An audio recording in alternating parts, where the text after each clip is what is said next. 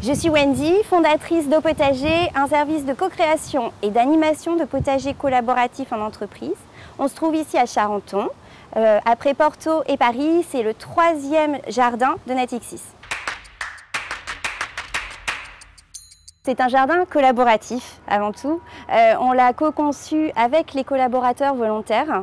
Euh, on a vraiment tout designé, co-designé ensemble les différentes zones pour qu'ils répondent et aux contraintes du site et aux objectifs de Natixis et aux envies et aux souhaits des collaborateurs. Donc c'est fait un jardin où on a beaucoup de, zones différentes, euh, avec euh, une zone de compostage, avec une zone de convivialité, une zone potagère où on va pouvoir récolter des fruits et légumes et se régaler.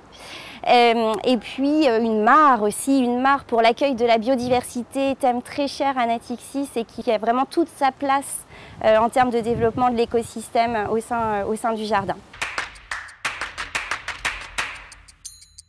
Ici, c'est un lieu de vie, euh, un lieu euh, où on se rencontre, où on partage des connaissances, où, euh, voilà, qui favorise la qualité de vie au travail. On apprend à jardiner, on remet les mains dans la terre, on se reconnecte à la nature et c'est quelque chose de très important compte tenu du fait qu'on est quand même dans un endroit très urbain. Donc cet îlot de verdure, c'est une vraie chance, une initiative à faire pousser partout.